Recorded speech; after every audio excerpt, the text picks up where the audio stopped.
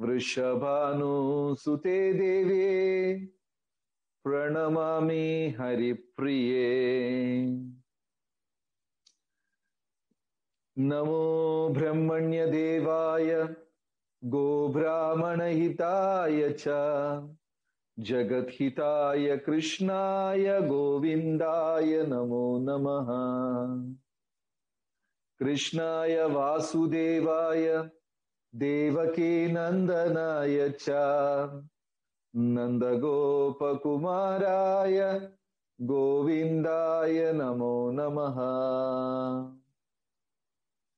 जय श्री कृष्णा चैतन्या प्रभुनित्यानन्दा श्री अद्वैत गदाधर श्रीवासदि गौरभक्तवृन्दा।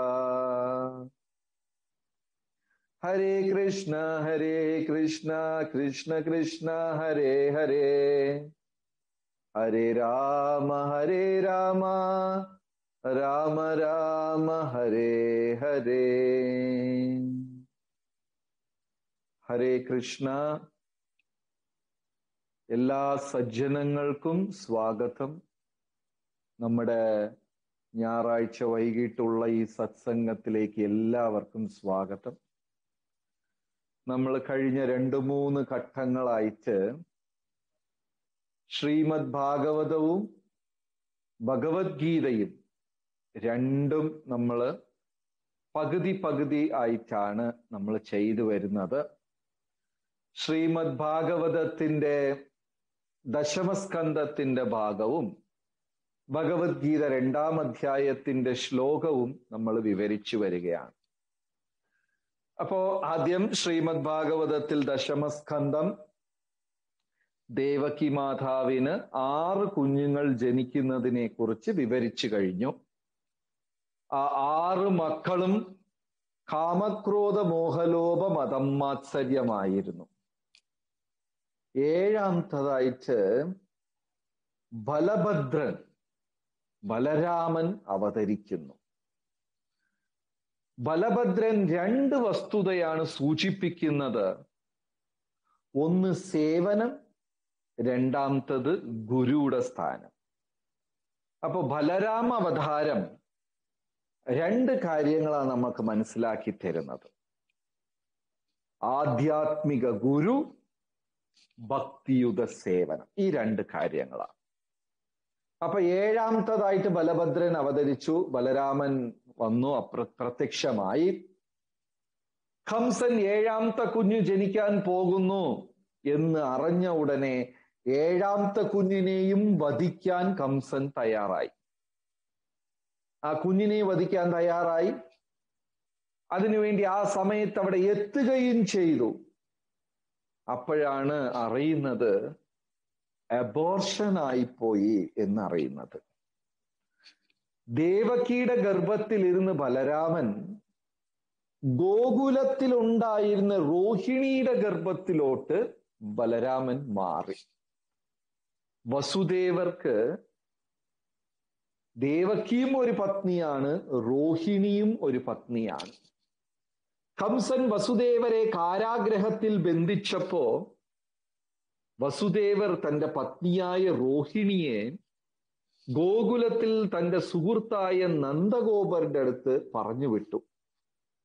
കംസൻ ഏത് സമയത്ത് എന്തു വേണമെങ്കിലും ചെയ്യും അതുകൊണ്ട് റോഹിണി മാത സുരക്ഷിതയായിരിക്കണം എന്ന് പറഞ്ഞ് നന്ദഗോപർ വസുദേവരുടെ സുഹൃത്ത ഗോകുലത്തിലുള്ള നന്ദഗോപരും യശോദയും അവിടെ റോഹിണിയെ പറഞ്ഞു വിട്ടു.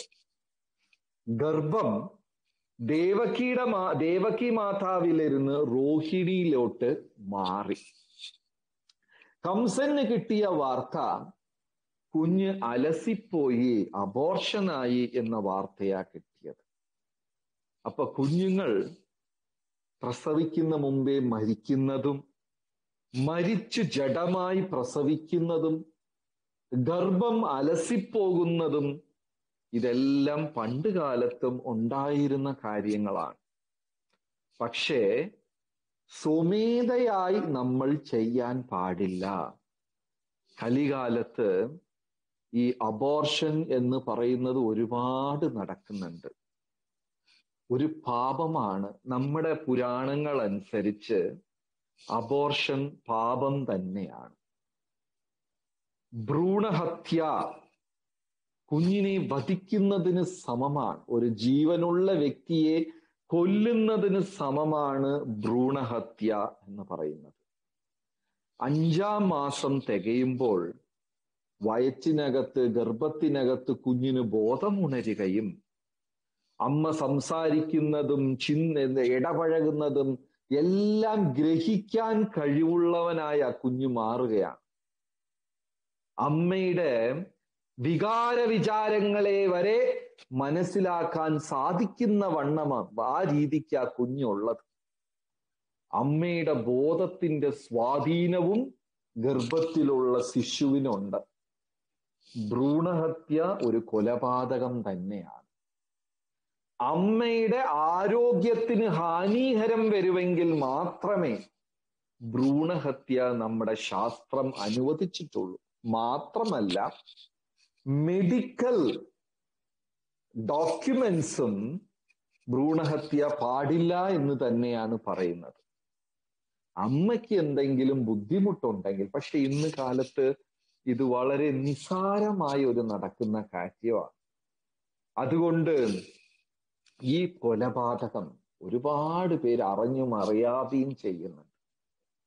നമ്മുടെ അറിവിൽ ഒരു ഒരു സ്ത്രീക്ക് ഒരുപാട് തവണ ഗർഭം ധരിച്ചു. പക്ഷെ കുഞ്ഞ് ഇങ്ങനെ അബോർഷനായി പോകുമായിരുന്നു. അവർക്ക് വലിയ വിഷമായിരുന്നു മക്കളില്ല കുഞ്ഞുങ്ങളില്ല എന്ന് പറഞ്ഞു. സന്താനപ്രാപ്തി ഇല്ലെന്ന് പറഞ്ഞ് വലിയ ദുഃഖമായിരുന്നു. അങ്ങനെ അവർ നാഡി ജ്യോതിഷം കാണാനായിട്ട് പോയി. അപ്പൊ അവിടെ ജ്യോതിഷന്മാര് പറഞ്ഞത് കഴിഞ്ഞ ജന്മത്തിൽ അങ്ങ് നർസായിരുന്നു അല്ലെങ്കിൽ വയറ്റാട്ടിയായിരുന്നു. കാശും മേടിച്ചിട്ട് പല കുഞ്ഞുങ്ങളെ ഇല്ലാണ്ടാക്കി. അതുകൊണ്ട് ആ പാപമാണ് ഈ ജന്മത്തിലും നിങ്ങൾക്ക് ലഭിച്ചിട്ടുള്ളത് എന്ന് അവർ പറഞ്ഞു. സംഘർഷ സുഭദ്ര മാതാജി എന്റെ വോയിസ് ബ്രേക്ക് ആവുന്നുണ്ടോ?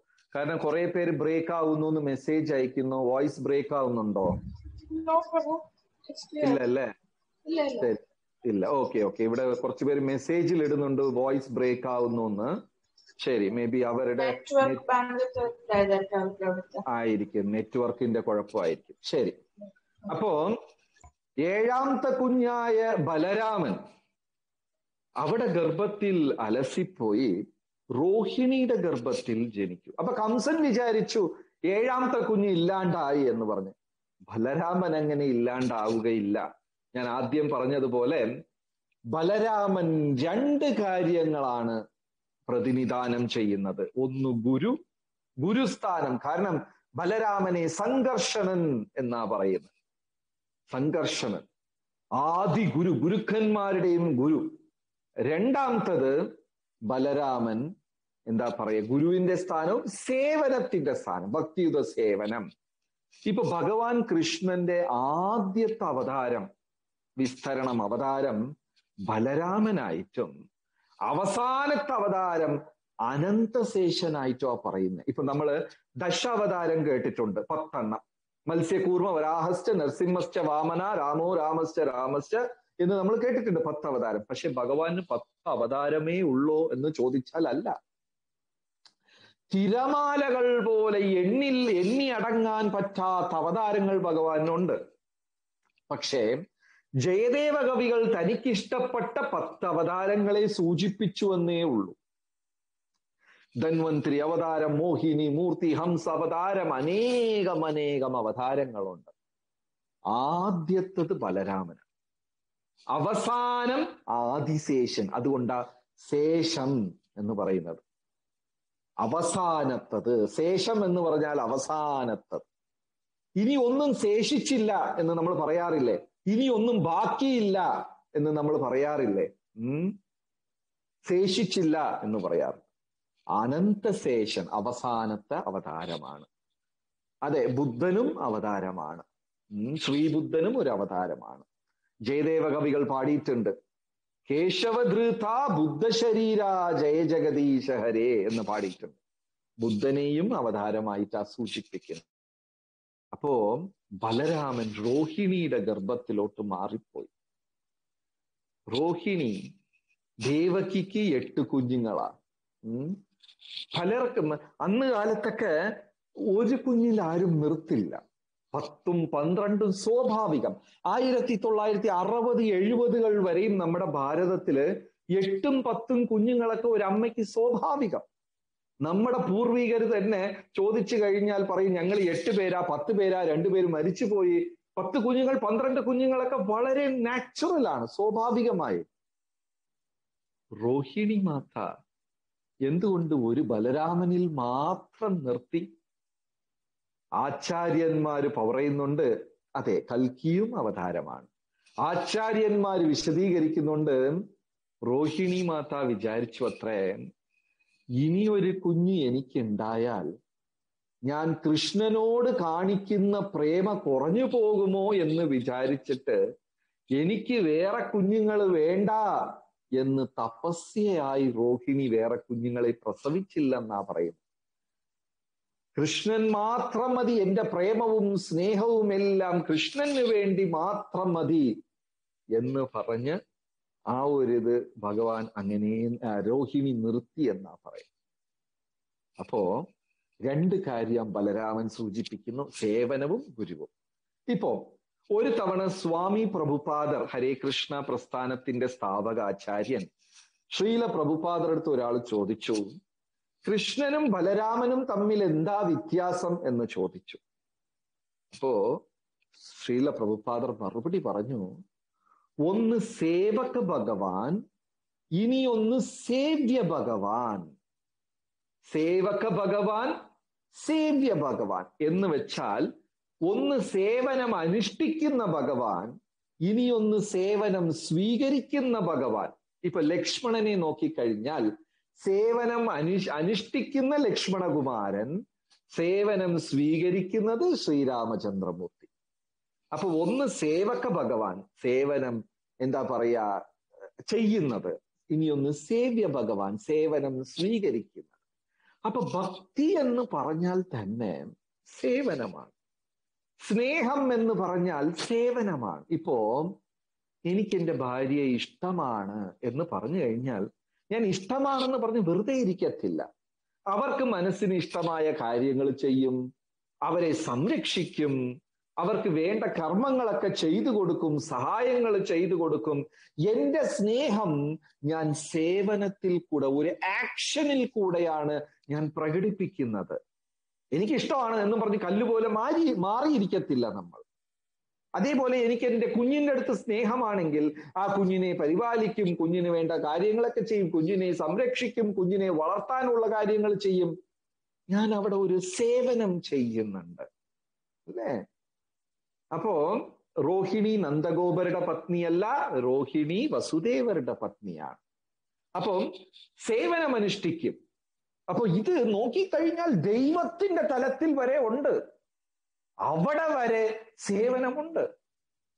ബലരാമൻ ഭഗവാനെ സേവിക്കുന്നു ലക്ഷ്മണകുമാരൻ ശ്രീരാമചന്ദ്രമൂർത്തിയെ സേവിക്കുന്നു സീതാദേവി രാമനെ സേവിക്കുന്നു രാധാദേവി കൃഷ്ണനെ സേവിക്കുന്നു കൃഷ്ണൻ രാധാദേവിയെ സേവിക്കുന്നു. ഭക്തി എന്ന് പറഞ്ഞാൽ സ്നേഹത്തോടുള്ള സേവനം എന്നാണ്. സേവനമാണ് ഭക്തി. അപ്പോ എനിക്ക് ഭഗവാനെ ഇഷ്ടമാണെങ്കിൽ ഞാൻ ആ ഭഗവാന് വേണ്ടി എന്തെങ്കിലും ചെയ്യും. നാമജപം ചെയ്യും. ഗീതഭാഗവതം വായിക്കും. ആർക്കെങ്കിലും അതൊക്കെ പറഞ്ഞു കൊടുക്കും. അത് സേവനമാണ്. ചിലർ പറയാറുണ്ട് ഞാൻ എന്താ പറയാ പുസ്തകം വായിച്ച് എനിക്ക് വളരെ ഇഷ്ടപ്പെട്ടു. ഞാൻ എന്റെ സുഹൃത്തുക്കൾക്കൊക്കെ പറഞ്ഞു കുഞ്ഞുങ്ങൾക്ക് പറഞ്ഞു കൊടുത്തു. സേവനമാണ് അത് എന്റെ സ്നേഹം ഞാൻ പല രൂപത്തിലും ഭാവത്തിലും പ്രകടിപ്പിക്കും. നാമജപം ചെയ്യുന്നത് സേവനമാണ്. ഭഗവത്ഗീത ഭാഗവതം വായിക്കുന്നത് സേവനമാണ്. അത് ഇനി ഒരാൾക്ക് പറഞ്ഞു കൊടുക്കുന്നതും സേവനമാണ്. കൃഷ്ണൻ പറയുന്നു യായിതം പരമം ഗുഹ്യം മദ്ഭക്തേശ്വ വിദാസ്യതി. ഈ രഹസ്യം ഇനി ഒരാൾക്ക് പറഞ്ഞു കൊടുക്കുന്ന ആൾ എനിക്ക് ഏറ്റവും പ്രിയപ്പെട്ടവനാണ് എന്ന് പറയുന്നുണ്ട്. സേവനമാണ്. അപ്പോ പുരാണങ്ങളിൽ രണ്ട് ഇവിടെ ബലരാമൻ കൃഷ്ണനെ സേവിക്കുന്നു എന്നാ പറയുന്നത്. ജ്യേഷ്ഠന. എന്നാലും കൃഷ്ണനെ ബലരാമൻ സേവിക്കുന്നു. കാരണം കൃഷ്ണൻ സച്ചിദാനന്ദ സ്വരൂപൻ പൂർണ പുരുഷോത്തമനാണ് ഭഗവാൻ. അതുകൊണ്ട് ബലരാമൻ വരെ സേവിക്കുക നമ്മുടെ പുരാണങ്ങളിൽ പറയുന്നു ലക്ഷ്മി സഹസ്ര സതസംഭ്രമ സേവ്യമാനം ഗോവിന്ദമാതി പുരുഷം തമഹം ഭജാമി. ആയിരക്കണക്കിന് ലക്ഷ്മിമാർ ലക്ഷ്മി സഹസ്ര സതസംഭ്രമ സേവ്യമാനം. ഒന്നും രണ്ടും അല്ല സഹസ്ര ലക്ഷ്മിമാർ ഭഗവാനെ സേവിച്ചുകൊണ്ടിരിക്കുകയാണ് എന്നാ പറയുന്നത്. ഭക്തി എന്ന് വെച്ചാൽ സേവനമാണ്. ഇത് മനോഹരമായി ഭാഗവതത്തിൽ പറയുന്ന രണ്ട് കഥാപാത്രങ്ങൾ ഒന്ന് അജാമിളൻ ഇനിയൊന്ന് ധ്രുവൻ. ഉം അതെ ശരിയാണ്. കൽക്കി അവതാരം ഇനി വരാൻ പോകുന്നതേ ഉള്ളൂ. ഇനി ഒരുപാട് കാലമുണ്ട്. അപ്പോ ധ്രുവൻ ഇനിയൊന്ന് അജാമിളൻ. ഈ അജാമിളനെ നമ്മുടെ അജാമിളന്റെ കഥ എല്ലാവർക്കും അറിയാം. ഈ യമദൂ യമദൂതന്മാര് വന്ന് അജാമിളനെ പിടിക്കാൻ പോയ നേരത്ത് വിഷ്ണുദൂതന്മാര് വന്ന് അജാമിളനെ രക്ഷിക്കും. റൈറ്റ് ഉടനെ മോക്ഷപ്രാപ്തി തരുന്നില്ല. ഉടനെ ജീസസ് ക്രൈസ്റ്റ് ആരാണ് എന്നാണ് ചോദ്യം അല്ലെ? ജീസസ് ക്രൈസ്റ്റ് ഒരു എന്താ പറയുക ഗുരുസ്തുല്യനായ ഗുരുസ്ഥാനം. ദൈവത്തിന്റെ ദൂതൻ ദൈവത്തിന്റെ പ്രവാചകൻ ദൈവത്തിന്റെ സന്ദേശം അറിയിക്കുന്ന ഒരു ആധ്യാത്മിക ഗുരുവിന്റെ സ്ഥാനമാണ്. ശരി അതവിടെ ഇരിക്കട്ടെ. അപ്പോ അജാമിളനെ വന്ന് ദേവ വിഷ്ണുദൂതന്മാർ യമദൂതന്മാരുടെ പിടിയിൽ നിന്ന് രക്ഷപ്പെടുത്തി. നരകത്തിൽ കൊണ്ടുപോകുന്ന അജാമിളനെ രക്ഷപ്പെടുത്തി. പക്ഷെ ഭാഗവതം പറയുന്നു ഉടനെ അജാമിളന് മോക്ഷം കൊടുത്തില്ല. അജാമിളനെ വിഷ്ണുദൂതന്മാർ ഹരിദ്വാറിൽ കൊണ്ടുപോയി ആക്കി. ഹരിദ്വാറിൽ ആക്കിയിട്ട് ഭക്തിയുത സേവനവും ചെയ്തിട്ട് വരാനായിട്ട് ആവശ്യപ്പെട്ടു. അങ്ങനെ കുറെ കാലം അജാമിളൻ ഹരിദ്വാറിൽ ഭക്തിയുത സേവനം ചെയ്തിട്ടാ തിരിച്ചു വൈകുണ്ഠത്തിലോട്ട് പോയത്. സേവനം അനിവാര്യമാണ്. ആർക്കും രക്ഷപ്പെടാൻ പറ്റില്ല. സേവനം ചെയ്തേ മതിയാകൂ ഈശ്വരന്റെ അടുത്ത്. അതാണ് ഭക്തി. സേവിക്കല. എനിക്ക് കൃഷ്ണനെ ഇഷ്ടം. ഉടനെ ഞാൻ ചെന്ന് പൂക്കളൊക്കെ പറച്ച് ഭഗവാനെ മനസ്സിൽ വിചാരിച്ചുകൊണ്ട് പൂമാല ഓർത്ത് അമ്പലത്തിൽ പോകുമ്പോൾ ഒരു ബാസ്ക്കറ്റിൽ വെച്ച് കൊണ്ടുപോയി. അത് സേവനം. റൈറ്റ് ധ്രുവന്റെ കാര്യം പറയുന്നുണ്ട്. ധ്രുവനെ വിഷ്ണുദൂതന്മാർ വിമാനത്തിൽ വന്ന് കൊണ്ടുപോയി. നേരെ വൈകുണ്ഠത്തിൽ കൊണ്ടുപോയില്ല. ധ്രുവനെ കൊണ്ടുപോയിട്ട് ധ്രുവ നക്ഷത്രം എന്ന ഒരു ഗ്രഹത്തിൽ ഇറക്കി വിട്ടു ധ്രുവനെ. ഇറക്കി വിട്ടിട്ട് ധ്രുവ നീ ഇനി സേവനം ചെയ്തിട്ട് തിരിച്ചു വന്നാൽ മതി എന്ന് സേവനം ചെയ്യാൻ പറഞ്ഞു. ധ്രുവൻ ധ്രുവ നക്ഷത്രത്തിൽ എത്രയോ കാലം സേവനം അനുഷ്ഠിക്കുന്നുണ്ട് ഹനുമാൻ സേവനം അനുഷ്ഠിച്ചു സീതാദേവി. സോ ഈ സേവനത്തിന്റെ എല്ലാം അവസാനത്തെ എന്താ പറയാ ഒരു ഒരു മൂർത്തിമദ്ഭാവമാണ് ബലരാമൻ. എല്ലാ സേവനത്തിനെയും എന്താ പറയാ അനുവദിക്കുന്നത് ആ ശക്തി ബലരാമനാണ്. അപ്പോ ബലരാമൻ സേവനത്തിനെ സൂചിപ്പിക്കുന്നു. രണ്ടാമത്തത് ആധ്യാത്മിക ഗുരുവിനെയും സൂചിപ്പിക്കുന്നു. ബലരാം ഭഗവാന്റെ സഹോദരനുമാണ് അവതാരവുമാണ്. അപ്പൊ ജയദേവ കവികൾ ഇഷ്ടമുള്ള തനിക്ക് ഏറ്റവും ഇഷ്ടപ്പെട്ട പത്ത് പേരെയാണ് ലിസ്റ്റിലാക്കിയത്. എന്ന് വെച്ചാൽ ബാക്കിയുള്ളവരെ ഇഷ്ടമില്ലെന്നല്ല ദശാവതാരത്തിൽ ലിസ്റ്റിലാക്കി. പക്ഷെ ഭഗവാന് തിരമാലകൾ പോലെ അവതാരം. ഇനി ബലരാമൻ ആധ്യാത്മിക ഗുരുവുമാണ്. ഒരു ഗുരു കടാക്ഷമില്ലാതെ ആധ്യാത്മികമായി ഉയരാൻ സാധിക്കില്ല. പള്ളിക്കൂടത്തിൽ ചെന്ന് സാധാരണ ഭൗതികമായ നാലാം ക്ലാസ് അഞ്ചാം ക്ലാസ് പഠിക്കണമെങ്കിൽ പോലും ഒരു അധ്യാപകൻ വേണം. സർവകലാശാലയിൽ പോയി പഠിക്കണമെങ്കിലും അവിടെയും പഠിപ്പിക്കാൻ നമുക്ക് ഗുരു ഗുരുക്കന്മാർ വേണം. ഭൗതിക ലോകത്തിൽ ഈവൻ അടുക്കളയിൽ പാചകം ചെയ്യണമെങ്കിൽ നമുക്ക് പഠിപ്പിച്ചു തരാൻ ഒരാൾ വേണം. അങ്ങനെ ഇരിക്കുമ്പോ ഈ പരമസത്യമായ ദൈവത്തിന്റെ രഹസ്യമായ ആധ്യാത്മിക ജ്ഞാനമൊക്കെ പഠിപ്പിച്ചു കൊടുക്കാൻ ഒരു ഗുരു വേണ്ടേ? ഗുരുവില്ലാതെ ആധ്യാത്മികമായി ഉയരാൻ സാധിക്കില്ല. ഗുരു ആധ്യാത്മിക ജീവിതത്തിൽ അത്യാവശ്യമാണ്. അപ്പൊ ബലരാമൻ ഗുരുവിനെയും കൂടെ സൂചിപ്പിക്കാണ് സംഘർഷണൻ. ശ്രീകൃഷ്ണ ഭഗവാൻ ഗുരുവിനെ സ്വീകരിച്ചു സാന്ദീപനി മഹർഷി. ശ്രീരാമചന്ദ്രമൂർത്തി ഗുരുവിനെ സ്വീകരിച്ചു വസിഷ്ഠര് ശ്രീ ചൈതന്യ മഹാപ്രഭു ഗുരുവിനെ സ്വീകരിച്ചു ഈശ്വരപൂരി. ശങ്കരാചാര്യ സ്വാമികൾ ഗോവിന്ദാചാര്യനെ സ്വീ ഗുരുവായി സ്വീകരിച്ചു. ഗുരു ഇല്ലാതെ പറ്റില്ല.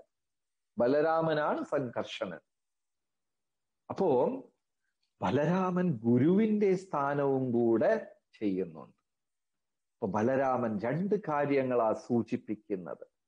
ഒന്ന് ഭക്തിയുത സേവനവും ഇനിയൊന്ന് ആധ്യാത്മിക ഗുരുവും. സ്വാമി പ്രഭുപാദർ ഹരേ കൃഷ്ണ പ്രസ്ഥാനത്തിന്റെ സ്ഥാപകാചാര്യൻ സ്വാമി പ്രഭുപാദർ. അദ്ദേഹത്തിന്റെ ഗുരു ഗുരുവിടെ നല്ല ഒരു കഥയാണ് അദ്ദേഹത്തിന്റെ ഭക്തി സിദ്ധാന്ത സരസ്വതി എന്നാണ് അദ്ദേഹത്തിന്റെ പേര്. ആയിരത്തി എണ്ണൂറുകളിൽ ജീവിച്ചിരുന്ന ഒരാളാ. ഹരിദ്വാറിൽ ഹരിയുടെ പാദമുണ്ട്. ഹർക്കി പൗഡി ഭഗവാന്റെ പാദമാണ് ഹരിദ്വാറിൽ ഉള്ളത്. ശരി. അപ്പോ ഈ ഭക്തി പ്രഭുപാദരുടെ ഗുരു ഗുരുവിടെ കഥയാണ് ഞാൻ പറയുന്നത്. അദ്ദേഹം മനസ്സിൽ ഒരു മഹാത്മാവിനെ ഗുരുവായി സങ്കല്പിച്ചു എന്നും ചെന്ന് ചോദിക്കും എനിക്കങ്ങ് മന്ത്രോപദേശം തരണം മന്ത്രദീക്ഷ തരണം എന്ന് ഗുരുവിനെ സമീപിക്കും.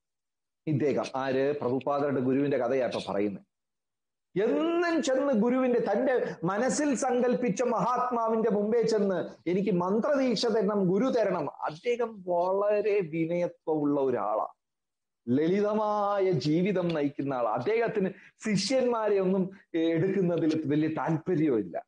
അദ്ദേഹം എവിടെയെങ്കിലും ഒതുങ്ങിക്കൂടി ദൈവത്തിനെ പൂർണമായി ശരണം പ്രാപിച്ച് ദൈവത്തിനെ സേവിക്കാൻ തയ്യാറായ ഒരു വ്യക്തിയാണ്. അദ്ദേഹത്തിന് ശിഷ്യന്മാരതൊന്നും ഒരു ഇതിൽ താല്പര്യമില്ല. അപ്പൊ എന്നും ഇദ്ദേഹം ചെന്ന് ചോദിക്കുമ്പോ അദ്ദേഹം പറയും ഗുരു പറയും ഞാൻ ഒന്ന് ഭഗവാന്റെ അടുത്ത് ചോദിച്ചിട്ട് പറയാം. അപ്പൊ എങ്ങനെ ചോദിക്കും? അത് ഞാൻ ചോദിച്ചോളാം. അപ്പൊ ഇദ്ദേഹം അടുത്ത ദിവസം വരും. അടുത്ത ദിവസം വരുമ്പോഴും ഇദ്ദേഹം പറയും ഞാൻ ചോദിച്ചില്ല ഭഗവാന്റെ അടുത്ത് നാളെ ആവട്ടെ മറ്റന്നാളാവട്ടെ എന്ന് ഒരു വർഷം നീട്ടി. കൊറേ നാളിങ്ങനെ നാളവാ നാളവാ നാളവാ എന്ന് പറഞ്ഞ് അങ്ങനെ നീട്ടി. അവസാനം ഇദ്ദേഹം എന്ത് ചെയ്തു ഒരു ദിവസം? ഈ ഗുരു കുളിച്ചിട്ട് ഗംഗയിൽ നിന്ന് ഇങ്ങനെ വരിക. അത് ഒരു ഒരു എന്താ പറയാ ഒരു പാലം. പാലം എന്ന് പറയാന്ന് വെച്ചാൽ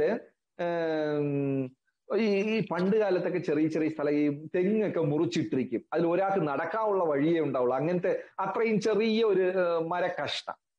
അതിൽ അദ്ദേഹം നടന്നു വരുമ്പോ ഇദ്ദേഹം ഓടിച്ചെന്ന് തലകുനിഞ്ഞ് നമസ്കരിച്ചിട്ട് പറഞ്ഞു അങ്ങ് എന്നെ ശിഷ്യനായി സ്വീകരിച്ചില്ലെങ്കിൽ ഞാൻ ഗംഗയിൽ ചാടി ആത്മഹത്യ ചെയ്യുമെന്ന് പറഞ്ഞു. അങ്ങനെ വേറെ നിവർത്തിയില്ലാതെ ഭക്തി സിദ്ധാന്ത സരസ്വതി അവർകളെ അദ്ദേഹം ശിഷ്യനായി സ്വീകരിച്ചു. മന്ത്രദീക്ഷ മന്ത്രം ഉപദേശിച്ചു കൊടുത്തു. അപ്പോ ഗുരുവിന്റെ മുഖത്തിരുന്ന് മന്ത്രം കിട്ടുമ്പോൾ മന്ത്രം പൂർണ ഫലമായി തീരും. അങ്ങനെ അദ്ദേഹം ശിഷ്യനെ സ്വീകരിച്ചു. അപ്പൊ ഗുരു അത്യാവശ്യമാണ് ആധ്യാത്മിക ജീവിതത്തിൽ. ശരി. അത് കഴിഞ്ഞ് ഏഴാം ബലരാമൻ ആ ഭക്തിയുത സേവനവും സൂചിപ്പിക്കുന്നു. അതേപോലെ ഗുരുവിന്റെ സ്ഥാനവും സൂചിപ്പിക്കുന്നു. ഹരേ കൃഷ്ണ.